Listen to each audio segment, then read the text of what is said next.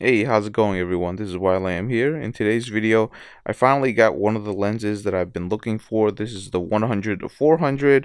Finally found a really good deal. I'm going to go ahead take it out and check it out to see how good the used lens is because I got it at a really good bargain price, but we won't know until we actually try it out.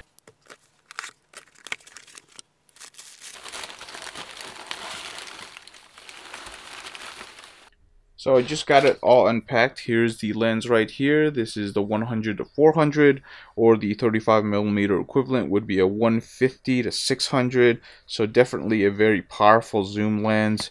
Cosmetically speaking, it looks to be in really good condition, but you don't really know until you get out there and try it out.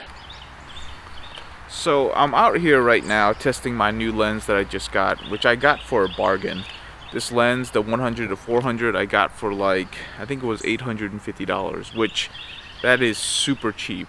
And that is a price that you just don't normally associate with this lens, which basically means that there's probably a flaw in this lens. So that's why I'm out here testing the first day I got it, is because I want to see if there is actually a flaw to it. I know optically speaking, it's been really good. I mean, I don't see any issues with it optically. Uh, mechanically, in terms of focus, it seems to work just fine. I've been tracking a lot of wildlife.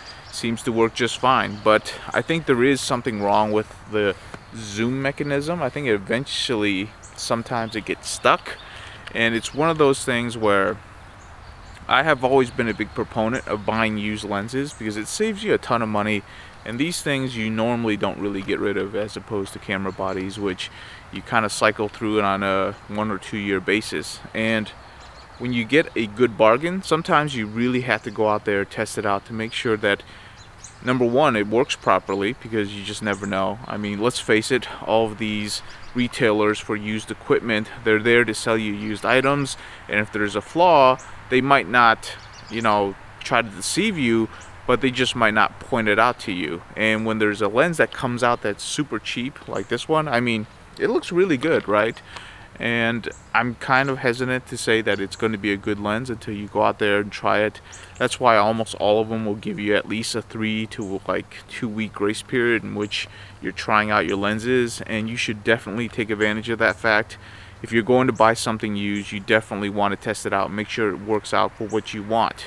Now, the point that's kind of interesting. Now the interesting thing would be that if you actually found something that's used but it's at such an amazing price which is pretty much this lens right here if you do find a flaw with it are you okay with keeping it with a flaw? And for me most of the time for me, I'm okay with keeping a lens so long as optically it's still fine, it focuses just fine. If it's just some sort of mechanical thing in which I can live with, I will definitely keep the lens, especially lenses that are really hard to find because there are a lot of lenses out there that really just don't come up used very often. And this is kind of one of these lenses where if you actually find it uh, at a relatively good price, you might end up, you might want to keep it for a while because they are expensive, you know it's just one of those deals.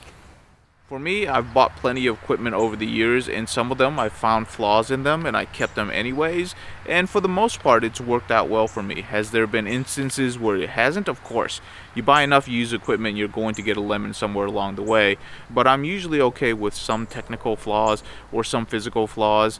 For this one, if it's just the zoom ring kind of sticking sometimes, that's perfectly fine. At the price point that I got it from, I'm perfectly happy with that. Now say if I bought this lens for around 1,200 or $1,300, I would not be okay with that flaw. That's not something that I would want to keep. But if I'm going to save another $400 to have a minor flaw, that's something I'm okay with because I am choosing that flaw in exchange for a discount on the price. And that's something that I'm testing right now. Now one thing that's super annoying is if you can't reproduce the flaw. Like I know it sticks sometimes, but I'm trying to figure out how it actually sticks or when it does stick. It feels like there's a loose part in here. I'm trying to figure out if there's a way for me to anticipate it or if there's a way for me to just not have it happen. And uh, so far it's been a little bit elusive, but I'm actually kind of having fun using the lens. Feels good in hand. The focusing system, all the images that I've been seeing so far has been really good. So I've been happy with it. Another thing to think about is how often you're going to be using these lenses because this one is a very specialized lens for me.